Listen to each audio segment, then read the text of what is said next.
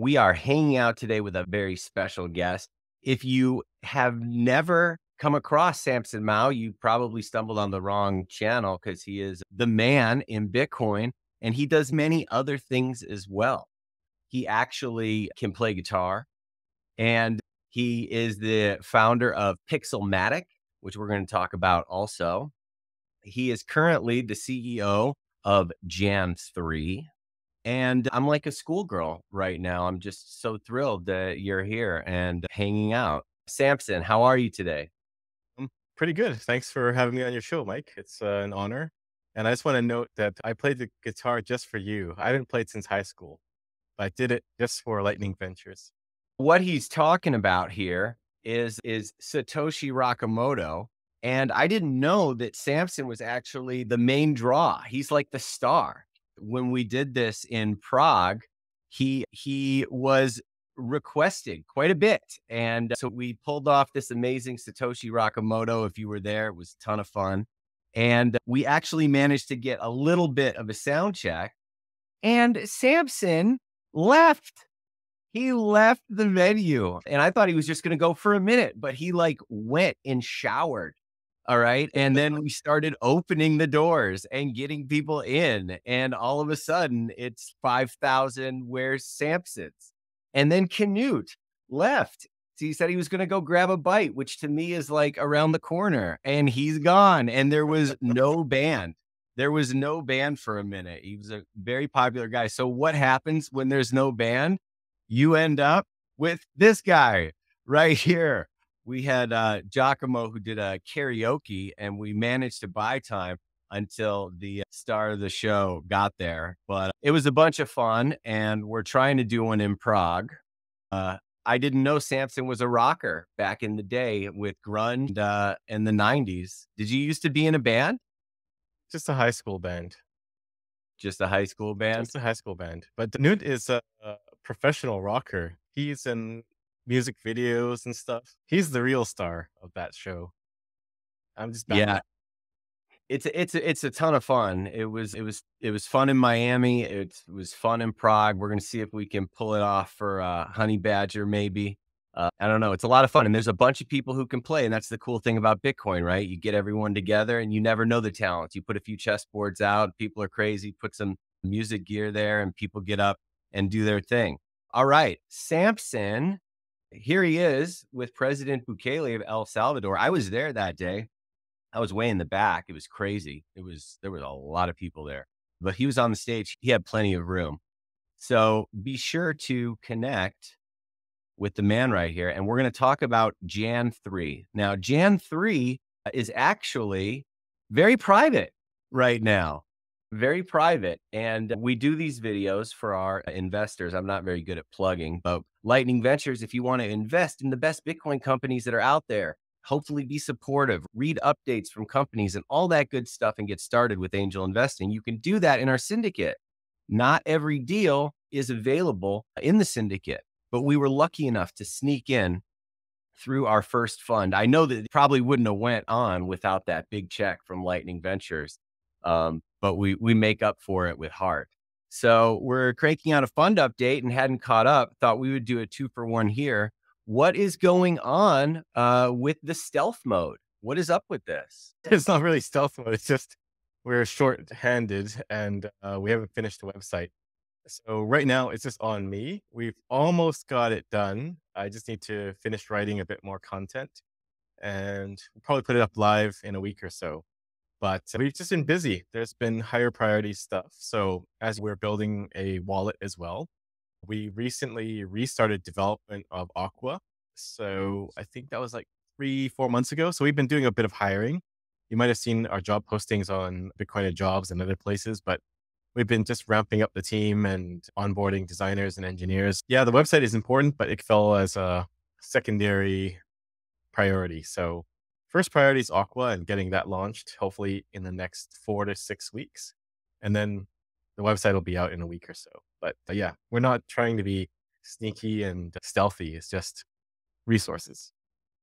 Cool. We're definitely going to to talk about Aqua here and some of the other things that Jan 3 is up to. So The mission is to accelerate hyper Bitcoin. I all right. Bitcoin will fix the world. What exactly does Jan 3 do? And obviously, this is the first uh, product here that's out. I actually have it on my iPhone. Why don't you talk a little bit about the long term goals of Aqua? Sure. So the one you have right now is the original version of Aqua. That's by Blockstream, and it's still on their account.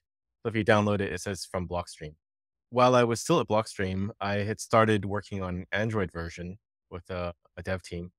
And when I decided to start Jan 3, I asked Adam, can we take over development of Aqua? And he said, sure. So we brought that over and we paused development for a good while, but we started up recently. But the goal of Aqua is to create a wallet for Latin America and the global south. So it's meant to be both a Bitcoin and a stablecoin wallet. So as Aqua supports both Bitcoin and Liquid, a Bitcoin sidechain can have assets like Tether natively to that wallet. And one of our sub goals is to get a lot of the Tether stablecoin volume off of Tron and Ethereum and into Liquid. Because eh, as Bitcoiners, we're not fans of coin chains. But the reality is the bulk of Tether stablecoin transactions are still on those chains. And I think the reason for that is simply because there has been no Bitcoin wallet that's given people access to Tether. So they really have no choice but to use wallets that are Ethereum based or Tron based to transact stablecoins because they still seek out this dollar denominated value, which for them, it, it, uh, a dollar is like a Bitcoin almost. They may not understand Bitcoin, but they know what a dollar is because their own currencies natively are inflating rapidly and losing value. So our goal with Aqua is that we're going to take some of that volume away and move it into Liquid. And one of the barriers, I think, for Liquid adoption has been that you have to get liquid Bitcoin first before you can transact any asset in liquid. So one of our solutions is we've integrated a service called Liquid Taxi that will allow you to pay a stablecoin transaction on Liquid in that stablecoin. So you can pay for a Tether transaction using Tether. And what that means is effectively, if you're in Venezuela, you can just receive liquid Bitcoin. And if you're paying someone else, then you can send that liquid Bitcoin by paying the fees in liquid Bitcoin. And I think that removes a big barrier to accessing the liquid network. But on top of that, we also have swap. So you'll be able to move in between liquid Bitcoin to USDT and back. We'll support Lightning as well. But we also have support for bridging across chains. So we integrate another service called SideShift, which allows you to receive Tron Tether or Ethereum Tether, and you get to keep it in Liquid Tether on your Aqua wallet. And when you send out, the same way. You can send someone through to their Tron address or Ethereum address, but you only ever keep Liquid Tether.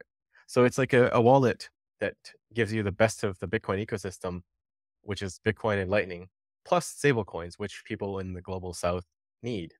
And they don't need to hold that stablecoin eh, or have Tron or Ethereum for gas fees. They just need Bitcoin and Liquid Tether.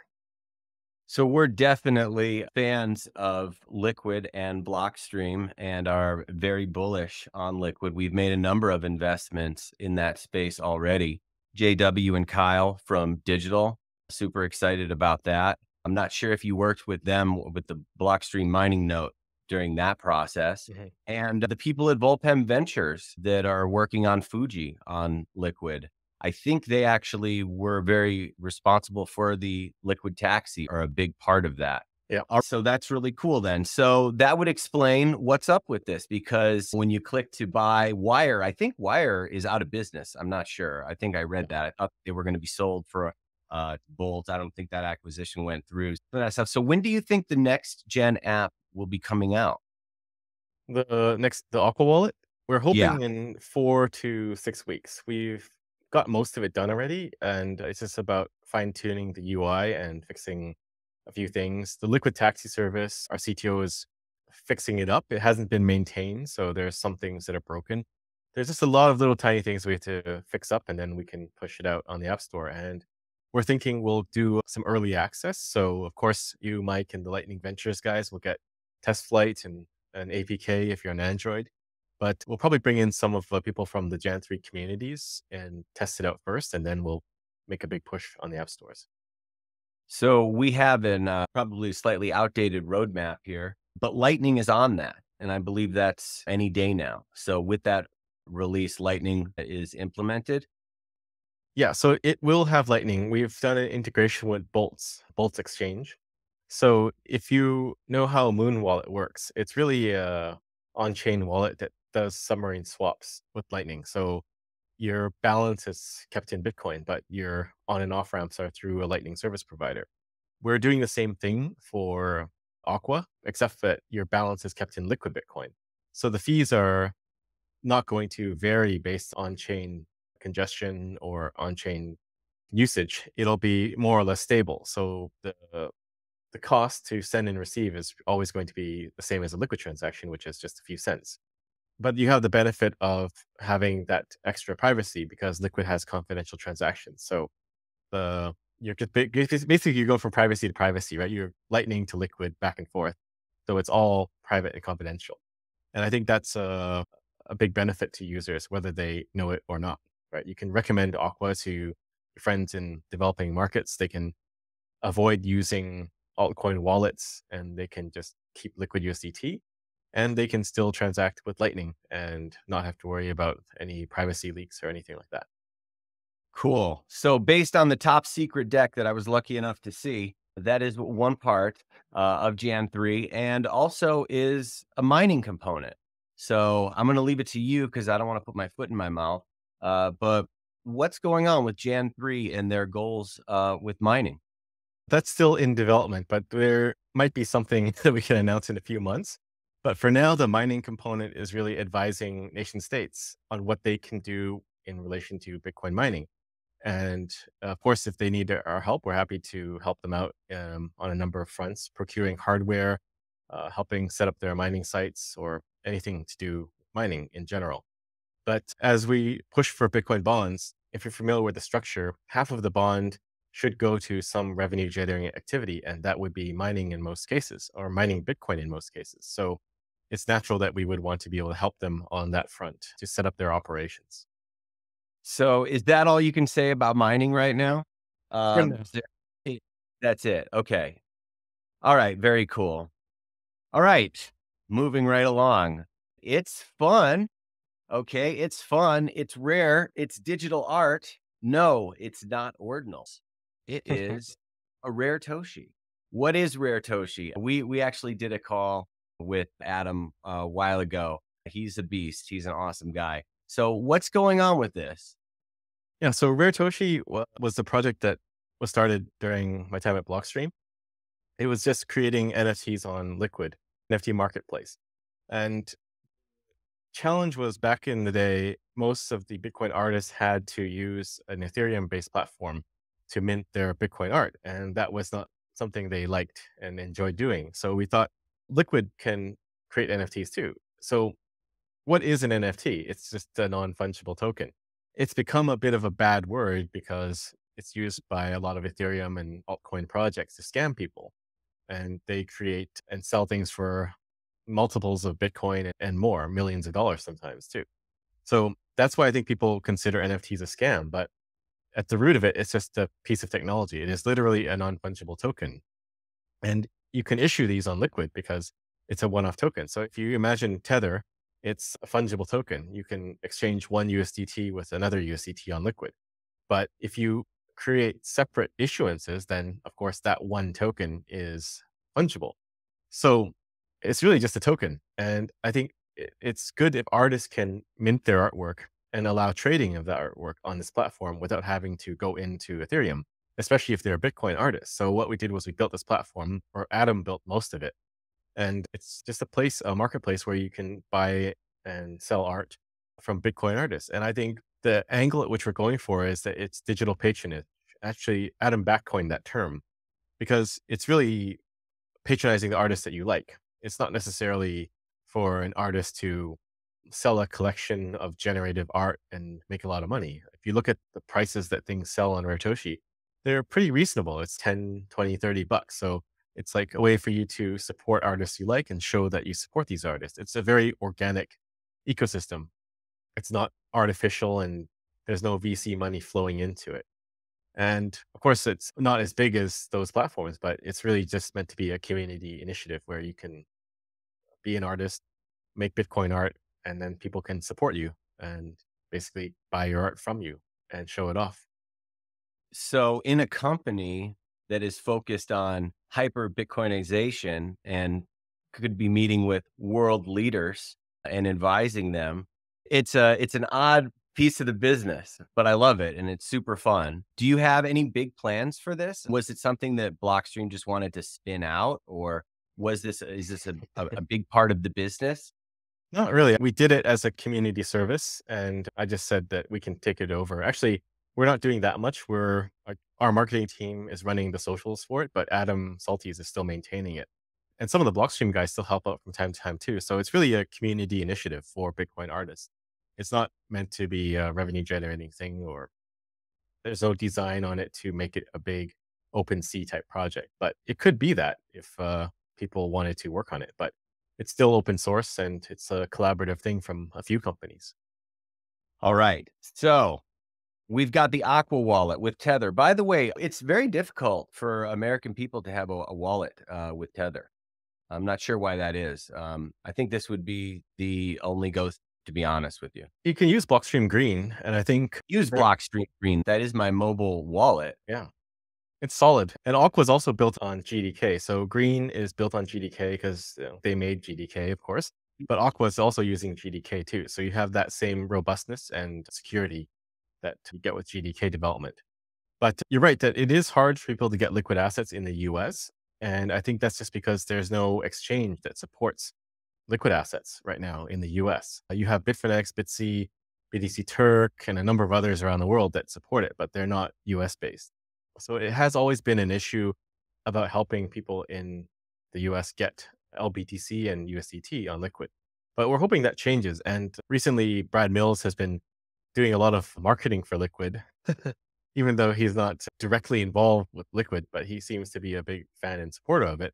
But he's like saying to uh, uh, a bunch of exchanges that they should implement support for Liquid. Um, and it's possible that Kraken or Gemini or one of the US based ones do that. And that would open the door for Americans to easily get access to liquid assets. But the wallet side, anybody can get a green wallet and anyone will be able to get an aqua wallet. And there's more and more wallets supporting liquid every day these days. Like uh, Peach Bitcoin is too now. But of course, that's not really US focused. But yeah, there's a, there are more wallets. I think there's another one that announced recently too. It was called I can't remember for the sake of my life, but it was like two weeks ago they announced that it's a liquid wallet and they support other other side chains like RSK and whatnot too. All right, they should they should update that green wallet to have a big nice tether logo there to remove confusion. All right, moving right along. Nation state Bitcoin adoption. That's the business. That is your business. What a fun business to invest in. And what a fun business to run. Have to start in El Salvador, but just really quick, high level from El Salvador to here. I know there's a lot you can't talk about. We can't even go to the website without a password. But whatever you can say about nation state adoption, it's what we're known for. So oftentimes people say Jan3 is a nation state Bitcoin company, and people reach out to us because we've done a lot of work in the space. So it's a, definitely an interesting position to have. And it's also an important thing to push forward as well, because I can see if there are not more countries that adopt Bitcoin, if El Salvador is the only one, then there's a risk that it could stop because the organizations that be, the, the IMFs and World Banks, they could exert a lot of pressure. But if you get more countries to adopt a Bitcoin standard, then El Salvador is not alone. So there will be allies, Bitcoin allies for these countries. And I, I guess that is really our goal to make sure that the Bitcoin adoption movement keeps on gaining momentum. We've had countries, but we've had cities and uh, autonomous regions declare Bitcoin adoption, which is quite meaningful in, in my view, because it's not every country that will be able to adopt the Bitcoin standard. El Salvador is a bit of an outlier in that sense because the president was a Bitcoiner before he became the president. So you have a, an advantage there. Um, whereas in other places, they might be learning about Bitcoin from for the first time. So you have a a larger battle to push Bitcoin through. And also the dynamic of uh, government in El Salvador is that they have a majority of Congress. So they can pass these laws without um, an opposition party uh, putting a stop on that, which is the case for a lot of governments. So that makes El Salvador very special and it allowed them to adopt it very quickly. Other countries, I think, will come around in the next five years, but it is a longer battle. And that's also why these cities that adopt Bitcoin and autonomous regions that say they, they want to adopt a Bitcoin strategy are very interesting because they are more agile, more nimble, and they can move a lot quick, a lot more quickly. One example is Prospera in Honduras. It's a special economic zone, and they have made Bitcoin legal tender. And we announced that in Miami a couple of years ago. And then you have Madeira, which is an autonomous region of Portugal that's said that they are working towards adopting Bitcoin.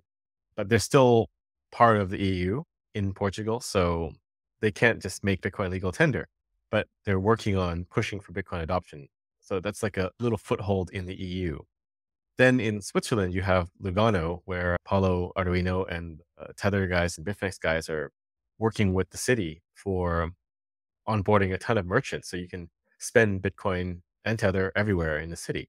So there is already a lot of movement, and you have at the same time elections all over the world, specifically in North America and South America in the next five years, where you're going to see a lot of turnover. And Bitcoin is becoming a key part of political discourse in these regions. So you have Argentina with Javier Milei, who's uh, talks about Bitcoin quite often, and other countries in that region too have uh, Bitcoin friendly candidates as well.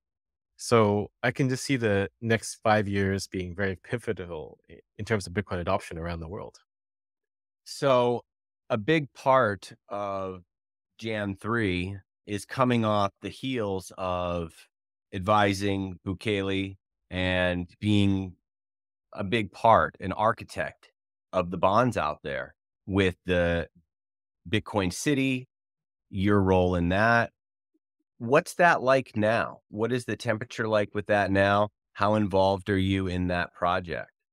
I helped them design the Bitcoin bond offering back in the day when I was still at Blockstream. And then, of course, as we announced it at the Bitcoin City debut, and you were there, right? and they've done a number of things to pave the way for this. One of those being the digital securities laws that we advised them on. So that would allow them to issue this Bitcoin bond or the volcano bond. And those laws, I think, were passed about three or four months ago. So they technically can start to do the Bitcoin bond issuance. But I haven't been spending too much time on El Salvador these days. They're already in good hands. Like the Bitfinex guys are very hands on and they're working closely with the government. Also, Max and Stacy are there driving a lot of things day to day. So I've been focusing a lot more of my time on other places to um, educate them about what Bitcoin bonds could do. So, for example, we've talked to the government in Costa Rica about Bitcoin bonds, and that was interesting for them because they have a lot of hydropower. We've spoken with the governor of West Java in Indonesia about Bitcoin bonds too, because Indonesia is very rich in geothermal power, but uh, they also have hydro as well. So they have a lot of opportunity to do a lot of things with Bitcoin. and I think he actually might be the next president or vice president of Indonesia. So again, that time frame of the next five years being very crucial. We're engaging with the next heads of state before the heads of state and trying to pave the way and build that foundation with the expectation that something can be done once they are in power. Most of what you read here or see is negative about El Salvador and everything that they're doing. So when you're meeting with these other world leaders, what's the temperature like with them? Are they looking up to this? This is something that they want to do. They're engaging you in this conversation. They're viewing this as a success because we don't get that story. Which story? If you read the mainstream media, I think it's actually warming up. If you check some of the coverage on their their TradFi bonds, they're being presented in a good light because they've been buying back their debt ahead of schedule. So I think it's it was the case maybe a year and a half ago where coverage of El Salvador's Bitcoin adoption was very negative. And also the IMF was pushing pushing against it, pushing back against it very heavily too. So I think the tides have turned a bit and El Salvador is becoming more of a success story in the media. And other countries are definitely looking at it that way too. We get a lot of questions about El Salvador and they want to know more about what happened and how it worked there. We are just relaying that information.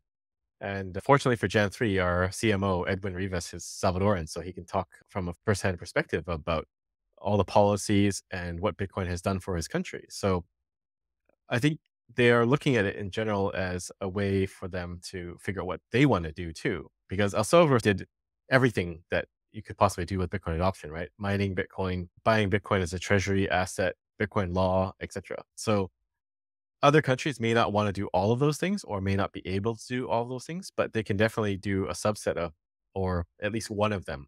And I think actually mining, uh, which we talked about earlier, is very interesting because there is no risk about there's no risk for IMF pushback on that because you're not treading on their toes. You're just encouraging the consumption of energy and the build out of energy infrastructure. And these could be pu- public private partnerships too, which would stimulate the local economy as well. So I think that's a safe bet if you don't want to ruffle their feathers to get into Bitcoin. And it would still be very meaningful because once you have that infrastructure in place and you have companies that enter the market to mine, then you can start to do more. So it's just a, a foothold in that regard. Is it more getting them to turn on the mining or is it more to adopt it?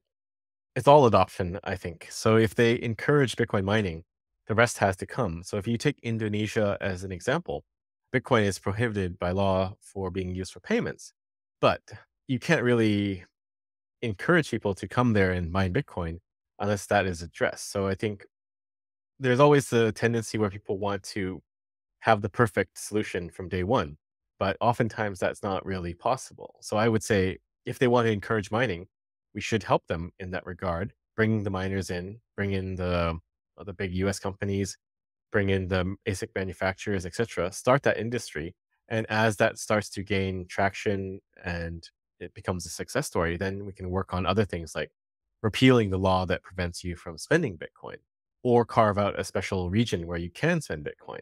But uh, oftentimes, perfect is the enemy of good enough. And we have to take what we have and the opportunities we have as Bitcoiners and not just say, I'm writing off Indonesia because they won't let me spend Bitcoin. Because it's a complicated world and you have to navigate these things in a pragmatic fashion. So exciting. So there's so many things that we can't talk about or that you're not going to talk about, and that's okay. We're talking about Jan 3. We're wrapping it up here. He's a very busy guy. He said these things, not me. Madeira, El Salvador, Costa Rica. Download the Aqua wallet. Get yourself some Tether. Look out for that new update. Buy some volcano bonds when they go live. Seriously, though, what can you talk about? Like, how does this make money? Like straight up, like you're going around the world orange pilling countries. Can you dumb that down in a way to talk about the revenue and how big of an opportunity that is? The plan was just to keep raising money from Lightning Ventures. That big check, that's what got you across the line. Let's be real. Yeah. So we, we have a, a new product or a new division we're going to announce in the next month, uh, maybe two months. But that will be a revenue generating business. And of course, we can't talk to talk about it just yet. But Aqua will generate money off of the swaps and selling Bitcoin, much like other wallets in the space. So that will be a revenue stream. Um, on the nation state front, it couldn't be a consulting deal, but our hope is to focus on the issuance of volcano bonds where we can charge a, a few basis points off of an issuance for compensation for helping them design and architect these things that will just go back into the business and finance more Bitcoin adoption. So it's like a, a self uh, propelling flywheel, hopefully. Cool. All right. So when he's not doing all that, he's playing guitar, and uh, maybe we'll see him again in Prague uh, for. I'm sorry, in um, at Honey Badger. All right, cool, man. Listen, thanks for hanging. I know you can't talk about much. Thanks for letting us uh, ride along with you uh, and be your favorite investor. And um, really looking forward to to seeing what comes next. Yeah, I'll keep you updated as soon as I can tell you something. All right. Thanks, Samson. Thanks, Mike.